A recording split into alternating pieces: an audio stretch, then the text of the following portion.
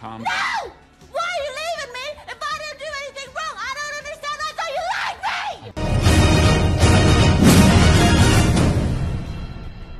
Damn, my a-hole is tighter than Ava Adams in a Black video. So according to Warner Brothers Discovery is expected to tease its upcoming film slate at CinemaCon, the studio will present the full film of The Flash as well. And CinemaCon is basically the movie version of Comic-Con where, where they present all the feature films.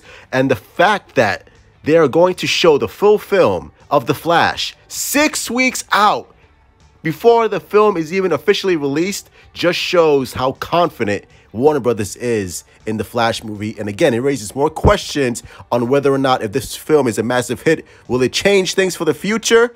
I don't know, but I'm excited. Speaking of being rock hard right now, indeed, Warner Brothers is hosting a panel at CinemaCon in April where they will show the calendar with their next films.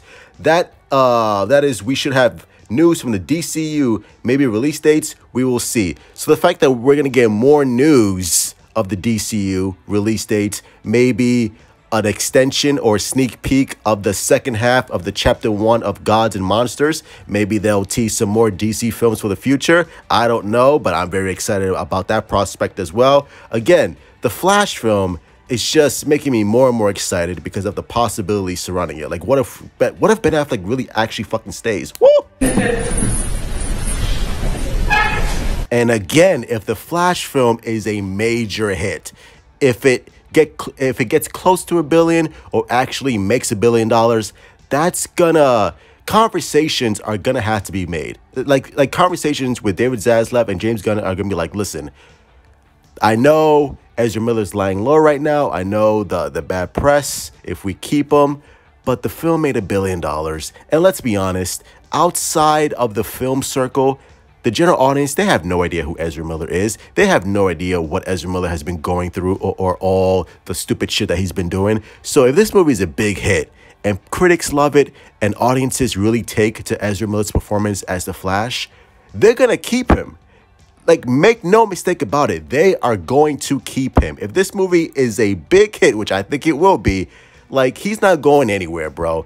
I would be really shocked and surprised if they if this movie makes a billion dollars, it's a big hit, a critical success, and they let Ezra go and they really start the whole new refresh of the DCU. I mean, personally, I've always said this personally, I think they should recast, I think they should reboot, but when money talks, man, plans change. And the final decision comes not from James Gunn, but the final decision comes from David Zaslav. If David Zaslav tells James Gunn, hey, Ezra Miller is your Flash going forward, guess what James Gunn is going to say? Yes, sir.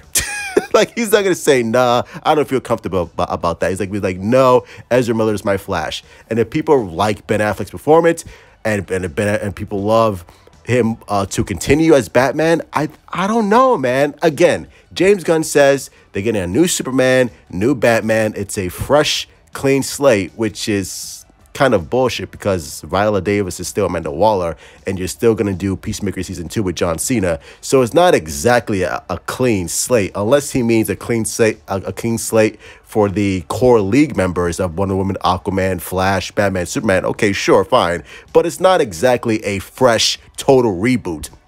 And since it's not a fresh total reboot, you're still allowed some some wiggle room to keep the remaining cast. I mean, if Henry Cavill if Henry Cavill is gone, okay, fine, recast your new Superman, but keep Ben Affleck, keep Jason Momoa as Aquaman. If you if you want to keep Zachary Levi Shazam, fine, go ahead. Keep Gal Gadot, like keep what works, which is what I said before.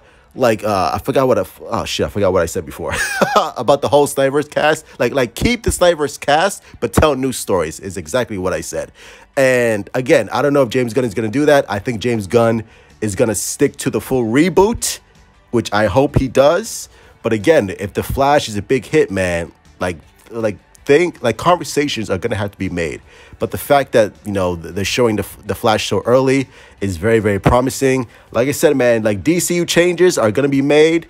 We, we just have to see what kind of changes are gonna are gonna be uh, intact. But uh, it's very exciting, man. Very very exciting. The Flash boy, woo, Ezra Miller just causing trouble all around. But as always, hit like, subscribe, follow me to a Discord, Instagram, all that bullshit. And as always, mwah, truth out.